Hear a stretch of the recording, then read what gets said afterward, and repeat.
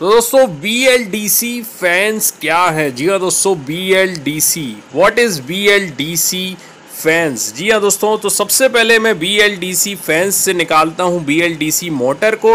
और B L D C motor क्या होती है या B L D C fan क्या होता है, इस वीडियो में हम देखने वाले हैं।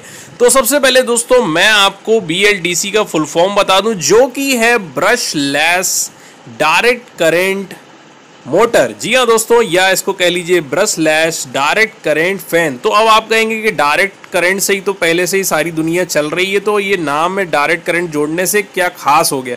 तो आपने देखा ही होगा जो नए फैंस आ रहे हैं दोस्तों, उसमें जो है लोग जो है अब आप देख रहे होंगे कि वो आपका रिमोट से ऑपरेट हो रहा है और रिमोट से ही आप उसको बंद चालू और कम ज़्यादा स्पीड उसकी कर पा रहे हैं। तो ये जो है आप देख रहे होंगे कि जब भी इसको समझाने के लिए मैं आपको एक सिंपल एग्जांपल देखता हूँ। दोस्तों, आप पहले देखते होंगे कि हमारे जो मैग्नेट होते थे, हम दो मैग्नेट को, लंबे मैग्नेट को घुमाते थे। तो घुमाने से क्या होता था, वो थोड़ी देर तो वो खिंचाव रहता था, उसके बाद वो उल्टे डायरेक्शन में आ जाते और जैसे ही वो उल्टे डायरेक्शन में आते थे, उसका रिपल्शन होता था, और वो फिर से जो है उसको धक्का मार के वापस से उसको अपोजिट डायरेक्शन में लाना चाहते थे, जहाँ वो चिपक सके।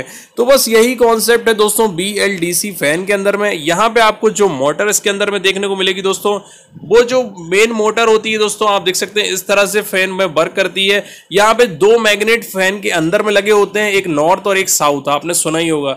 और इसके अलावा जो बीच में कॉइल्स लगी होती हैं, उन कॉइल्स में कभी वो नॉर्थ और साउथ क्रिएट करता है।